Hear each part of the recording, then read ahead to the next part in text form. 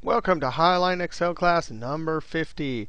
Hey, if you want to download this workbook and follow along, click on my YouTube channel, then click on my college website link, and you can download the workbook Week 9, Business 214. Hey, if you're enrolled in the class, just go to our Week 9 website. Hey, we're talking finance here, and we want to value an asset using discounted cash flow analysis. Now we're going to start off with the PV function, then do the NPV function, and then we'll see the XNPV function. Here's our situation. You're consider buying a machine that will yield 35,000 net cash flow uh, for the next 10 years. If you must earn a minimum return on investment of 15%, should we buy the machine if it costs 165,500? The only trick is we have these 35,000 this is a plus coming in over the next 10 years.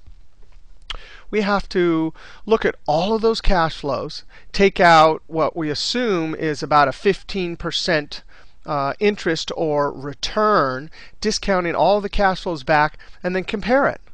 If 65,500 seems like a good deal, then we'll buy it. If it doesn't, we won't. So let's see how to do it with the present value.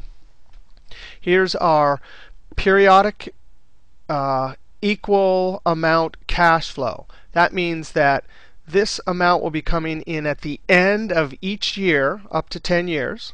So the time periods are equal, and the amount, $35,000, are equal. So that if those two things are true, and then you have your the constant interest rate, you can use the PV function.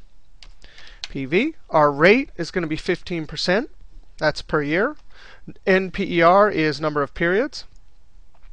The PMT, this is going to be a positive because it's coming in. This is an asset that's earning 35,000 bucks. We don't have a future value, and we can leave the type off because this is at the end of each period. That's the default. Close parentheses and enter. So there it is. It says minus 175,500 $656.90.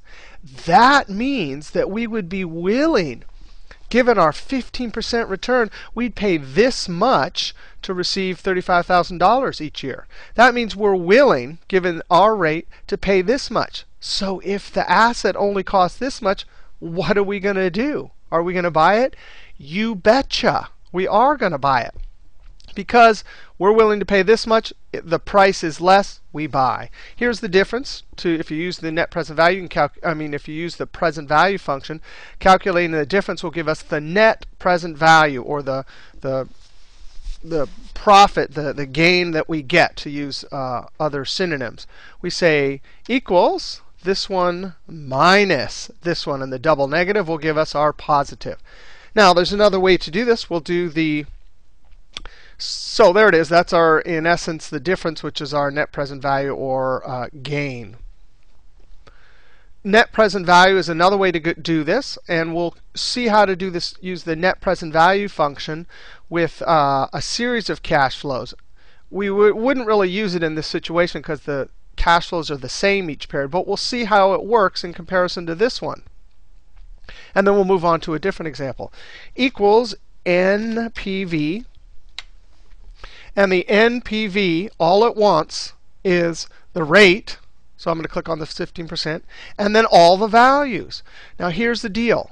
The time periods have to be the same for N NPV, but the cash flows can be different. Let's just see how it works with this even cash flows, because they can be the same too. You just wouldn't want to type all this out, right? Because the present value function, if they're the same each period, you only type it in once. But nevertheless, let's do this and net present value, you cannot put a zero value in, a times zero value. Whereas uh, our next xNPV, we are going to be able to do that. But NPV, forget it. You can't put a zero amount in. Oh, that is the full amount. But watch this. How do we get net, uh, the actual net present value? We have to consider time zero payment, which is the cost. So we simply add this one right here. And that formula right there will tell us it is the same. Now, payments are equal. Time periods are equal. By all means, oops, by all means, you use the PV. But watch this. Here's where the NPV comes in so handy. we have different cash flows. So we have 40, 40, 40, 35, and they could be anything. But cash flows are different, but the time between each cash flow is the same. So let's see our similar example here, but with uh, some 40,000s early on. Net present value, our rate is going to be our 15%, comma, and the values not including time 0, cannot include time 0, close parentheses, and then we'll simply do our adding of time 0. Because the net present value only deals with uh, the periodic flows one year out. And then it brings it back, it, it discounts it back down to this uh, particular time. Then we hit enter, and there we go.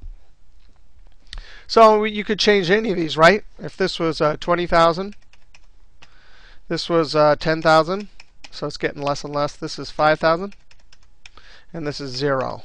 Okay, well, we still, in that case, uh, take this project if it cost 65000 and it gave us these uh, cash flows. Maybe this one is 2.5.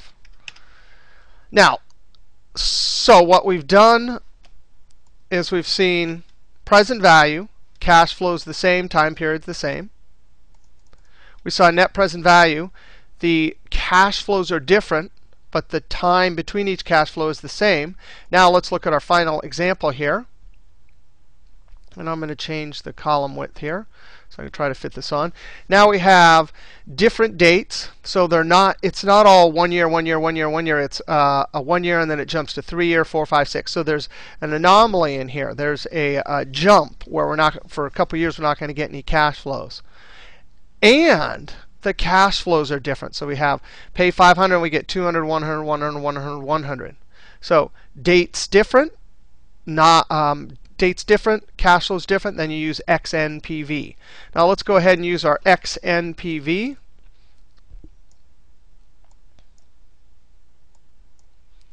equals XNPV.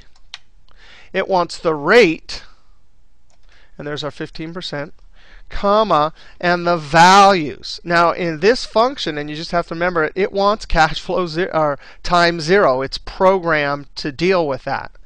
So it has our values and then dates. We simply type in the dates. And guess what? These dates I have here are all on January 1st, but they don't have to be. They can be any period. You could have, like we have year, two years, year, year, or month, six month, year, one day, whatever. Whatever these dates are, XNPV can deal with it. Close parentheses and Control Enter. So we're getting a uh, minus 1 $110.31. So that is the uh, net the net present value. If the price is minus 500 and we think we're only willing to pay minus $110.31, no way do we buy that. Now let's look at the XNPV uh, or let's look at an alternative way to solve this problem. Here is the present value function, and it requires, if we do it, to add a bunch of columns um, and have years like this and cash flows, and then we get a different answer. Let's just look at here. We can actually discount this cash flow for zero time periods, and it says exactly uh, that it's worth that minus 500. But this formula will work all the way down because we have the interest rate, we have the NPER. As we copy it down, it'll move to 1, 3, 4, 5, etc. And then we have the cash flow. If I copy it down, you can see that it comes here, and it works just fine. So you could actually calculate present values individually and add them up. Now, why do we get a difference here? This is an annual rate. These are annual periods here, 1, 3, so th that's the year. And our contract says 15% per year. Well, the problem is there's a leap year with 366 days. The year 2008 had 366 days. Oh, actually, I think 12 does too. So there's a couple extra days in there. Let's um, click here in XNPV, and if you, you do these calculations and you're like, oh man, why is it 10 cents off? Well, go look at help. I'm going to click on the XNPV and then click up here. And wow, this is awesome for all functions. If you can't figure something out, whether it's the uh, NPER function, which has a strange little uh, uh, truncates the exponent or the xNPV that's having some trouble, this help will help you out. I'm going to click right there and scroll down. Oops. See if I can fit this on the screen. By the way, this is a great trick too because if you don't know how to use a function, you just go and it tells you how to use it. If you read through here, it uh, there it is. It tells you um, the algorithm or the math formula. And you can see right there 365 days. So it's taking uh, the late, whatever the latest date is, comparing it to the original date at zero pay date and dividing them by 365. Why does it have to do that? Oh, yeah, because it can do days. It can do year or month or days or whatever. But that 365 means on the years uh, where it's 366, there's going to be a slight miscalculations. Now I'm going to click cancel here. I actually, you know, when I encounter something like that, I always uh, try to go and do it myself to prove that you get the right answer. And I built this little formula, uh, present value formula, and used a denominator for the exponent of 365, copied it down, and got and uh, duplicated what the xNPV.